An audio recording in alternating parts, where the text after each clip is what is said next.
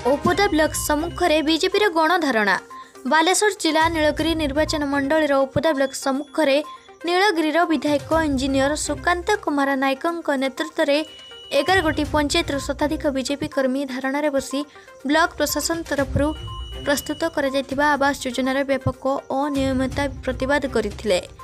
ପ୍ରକୃତ ଯୋଗ୍ୟ ହିତାଧିକାରୀମାନଙ୍କୁ ସେମାନଙ୍କର ନ୍ୟାଯ୍ୟ ଅଧିକାର ପ୍ରଧାନମନ୍ତ୍ରୀ ଆବାସ ଗୃହ ଯୋଗାଇ ନ ଦେଇ ପ୍ରିୟପ୍ରୀତ ଶୋଷଣ କରାଯାଉଥିବାର ବହୁ ନଜର ଆସୁଥିବାର କର୍ମୀମାନେ ଉଦ୍ବେଗ ପ୍ରକାଶ କରିଥିଲେ।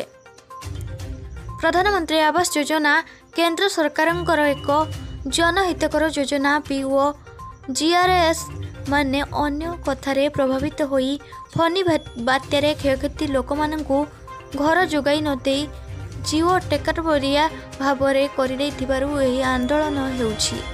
ମଣ୍ଡଳ ସଭାପତି ଲକ୍ଷ୍ମୀକାନ୍ତ ବେହେରାଙ୍କ ସଭାପତିତ୍ୱରେ ଆୟୋଜିତ ଏହି ଧାରଣାରେ ବିଜେପି ବରିଷ୍ଠ ନେତା ନିରଞ୍ଜନ ମହାନ୍ତି ଯୁବ ନେତା ପରଶୁରାମ ଲେଙ୍କା ପ୍ରଭାରୀ ଜିତେନ୍ଦ୍ର ବିଶ୍ୱାଳ ଅଜୟ ପ୍ରଧାନ ପ୍ରମୁଖ ବକ୍ତବ୍ୟ ରଖି ଏଭଳି ଚୟନ ପ୍ରକ୍ରିୟାକୁ ଘୋର ପ୍ରତିବାଦ କରିଥିଲେ। ଏଥିରେ ବିଜେପି ସରପଞ୍ଚ ସମିତି ସଭ୍ୟଙ୍କ ସମେତ ବହୁ ମହିଳା ଓ ପୁରୁଷ ହିତାଧିକାରୀ ଯୋଗ ଦେଇଥିଲେ। ଔପଦାରୁ ନୀଳାମ୍ବର ପଣ୍ଡାଙ୍କ ରିପୋର୍ଟ ରୂପଠାଳିଆ ନ୍ୟୁଜ୍।